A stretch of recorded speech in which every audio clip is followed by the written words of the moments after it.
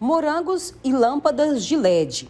Essa foi a aposta de pesquisadores do Instituto Federal Goiano de Rio Verde. O sol passa longe daqui. São quatro anos de pesquisa e o resultado são morangos vermelhinhos com mais nutrientes e sem agrotóxico.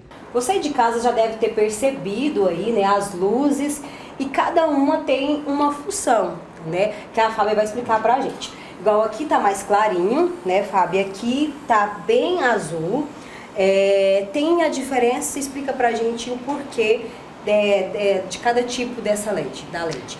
Aqui, por exemplo, a gente tem uma qualidade de luz, uma luminária que chama RGB. Para esse tipo de cultivo, por exemplo, a gente percebe que a RGB ela é muito eficiente similar à luz branca e produz bastante. Então, esses frutos são mais saborosos em termos de, de, doce, né? Eles são mais adocicados. A gente já tem aquela diferença por ser livre de agrotóxicos, né? Então, isso, isso também modifica o sabor do fruto. Diferente do cultivo tradicional no campo, com a luz de LED o processo é bem mais rápido.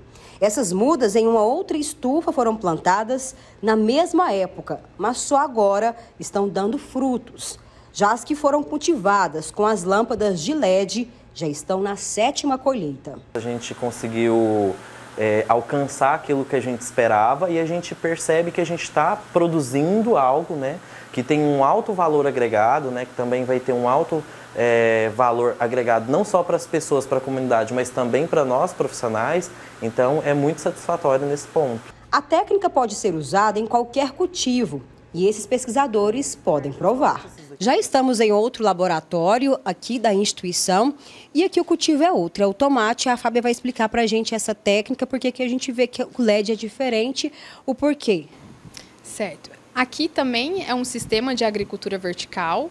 Como a gente vem trabalhando com hortifruti de valor agregado, então, nós escolhemos pelo morango e o tomate. O diferente é que ele pode chegar até 5 metros de altura. Então, nesse sistema de cultivo controlado, a gente tem que fazer todo uma, um manuseio, tutoramento, para que a gente possa ter a planta aqui cultivada dentro do sistema e que seja, então, adequado para produtores, então, na produção, fora da sazonalidade, né, do ambiente é, convencional e ambiente controlado. Um estudo que rendeu bons frutos graças a empresas parceiras como a Embrapa, que acreditou no projeto. Esse é um sistema que tende a crescer.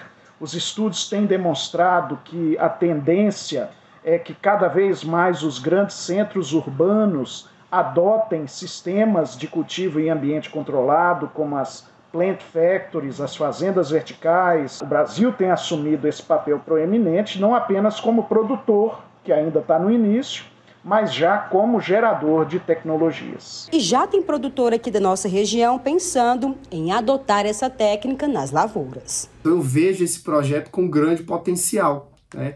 A informação que ele vai trazer, o resultado que esse projeto vai trazer. É um projeto assim bacana, vai de encontro com a necessidade com que o produtor está enfrentando em campo, né? Todas as dificuldades e principalmente o do tomate que não é diferente.